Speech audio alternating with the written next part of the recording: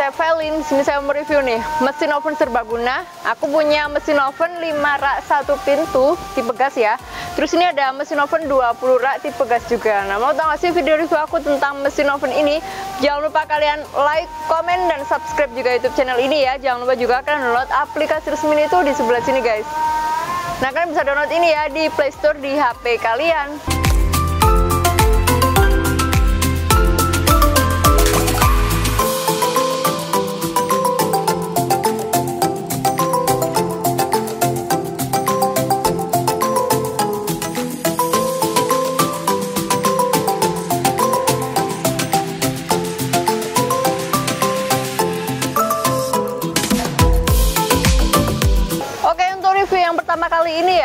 Aku mau review yang di bagian mesin oven 5 rak satu pintu terlebih dahulu ya guys. Jadi untuk mesin ini ya, ini tuh sudah dilengkapi dengan 5 loyang. Loyangnya sendiri seperti ini. Loyangnya ini menggunakan material full stainless ya.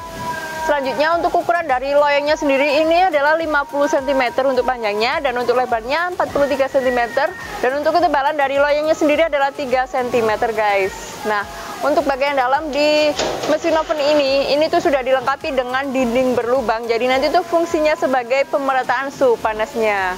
Nah, selanjutnya di bagian atas, di bagian dalam ini ya sudah terdapat exhaust fan. Nanti tuh fungsinya sebagai sirkulasi udaranya, guys. Oke, untuk uh, di sebelah sini juga dilengkapi dengan komponen panelnya. Terus ini tuh kapasitasnya 5 rak satu pintu ya, guys. Yang pertama ini ada tombol power fungsinya sebagai penyala dan mematikan mesinnya ya. Selanjutnya ini ada timer ini tuh pengatur waktu. Nanti kalian bisa atur sesuai kebutuhan. Maksimalnya timernya ini 10 jam nah ini ada termokontrol pengatur suhunya nanti bisa diatur sesuai kebutuhan kalian juga dan ini ada dua lampu LED indikator jadi yang pertama ini ada dua lampu LED indikator yang berwarna hijau fungsinya sebagai indikator penyalaan mesinnya sedangkan yang merah sebagai indikator pemanas mesinnya guys jadi untuk ukuran dari mesin ini tuh berapa sih untuk panjang lebar kali tingginya? Untuk panjangnya sendiri adalah 60 cm, lebarnya 60 cm juga dan untuk tingginya adalah 105 cm guys. Oke kita lanjut di mesin oven 20 rak tipe gas ini ya guys. Yang pertama, untuk mesin ini tuh perbedaannya tuh yang pertama ya, ini tuh menggunakan loyang stainless korporasi. Ini tuh upgrade menggunakan loyang stainless korporasi berlubang. Untuk lebih detailnya itu seperti ini, aku kasih tahu buat kalian. Nah, seperti ini ya Oke, terus untuk ukurannya sendiri ini panjangnya 90 cm, lebarnya 43 cm dan untuk ketebalannya adalah 3 cm guys. Nah untuk kedua mesin ini guys, ini tuh menggunakan material full stainless ya, sama untuk materialnya. Jadi untuk perbedaannya nih, untuk yang kapasitas 20 nah ini beda ya untuk ukurannya. Panjangnya adalah 215 cm, lebarnya 60 cm dan untuk tingginya adalah 170 cm guys. Oke, untuk mesin ini ya, ini tuh sudah dilengkapi dengan 20 loyang. Loyangnya ini menggunakan loyang stainless korporasi tadi. Di mesin oven 20 rak ini ya, ini tuh sudah dilengkapi dengan dinding berlubang. Nanti tuh fungsinya sebagai pemerataan suhu panasnya. Terus di sebelah atasnya bagian dalamnya tuh sudah dilengkapi dengan exhaust fan. Nanti tuh fungsinya sebagai sirkulasi udaranya. Jadi guys, kedua mesin oven ini ya, ini tuh sangat cocok buat digunakan yang pertama untuk pengering serbaguna keripik, kerupuk, daun, bunga, terus uh, salib pisang dan pengering serbaguna yang lainnya juga. Kami tuh juga mempunyai berbagai macam kapasitas. Ada yang kapasitas 5 rak satu pintu, ada yang kapasitas 5 rak dua pintu. Terus ada juga yang kapasitas 10 rak satu pintu guys. Nah terus ada juga yang kapasitasnya ini 10 rak dua pintu. Nah ada juga yang kapasitas 20 rak seperti ini ya dan ada juga yang kapasitas paling besar sendiri ini ada kapasitas 40 rak atau 40 loyang jadi untuk pemanasannya ini bisa menggunakan pemanas gas LPG guys jadi guys untuk mesin ini ya kelebihan yang pertama ini tuh perawatannya sangat mudah Terus sistem kontrolnya full otomatis. Nah, terdapat garansi satu tahun all part juga.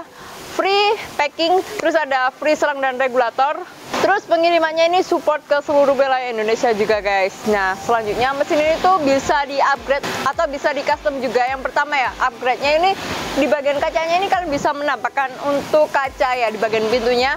Selanjutnya di bagian kontrolnya ini kalian bisa upgrade juga untuk timer dan termokontrolnya ini menjadi yang digital guys nah di bagian dalamnya kalian itu bisa upgrade juga untuk lampu UV ya terus loyangnya sendiri kami itu ada loyang kasa stainless ada loyang stainless korporasi juga seperti itu. Terus ada loyang full stainless seperti ini guys. Nah kan bisa upgrade juga menggunakan kaki roda guys.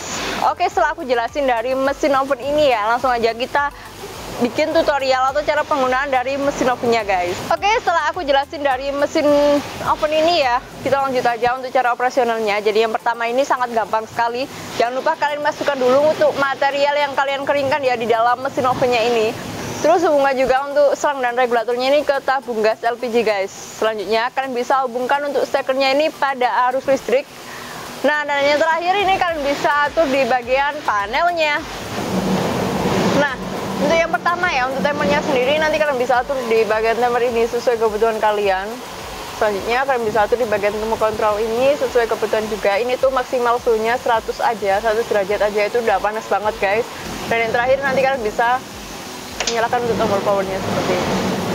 Oke okay guys, untuk mesin kedua mesin ini ya, ini tuh sudah dilengkapi dengan sistem overheating. Apabila nanti uh, sistem overheatingnya ini kan suhunya aku, sudah aku atur ya. Nah terus suhunya ini sudah mencapai kebutuhan itu nanti pemanasannya akan mati. Tetapi nanti suhunya sudah di bawah suhu yang kita atur nanti itu akan menyala kembali untuk pemanasannya. Nah seperti itu ya. Setelah itu kita uh, setelah menggunakan mesin ini langsung aja kita langsung mematikan di tombol powernya seperti ini guys. Nah kita matikan juga di sebelah sini ya Caranya itu gampang banget dan mesin bisa digunakan kembali guys. Oke, terima kasih sudah menonton video review ini tuh sampai selesai. Jangan lupa kalian like, komen, dan subscribe YouTube channel ini ya. Jangan lupa kalian download aplikasi resmi ini tuh di sebelah sini guys. Nah, kalian bisa download ini ya di Play Store di HP kalian. Sampai jumpa di video-video berikutnya. Bye-bye.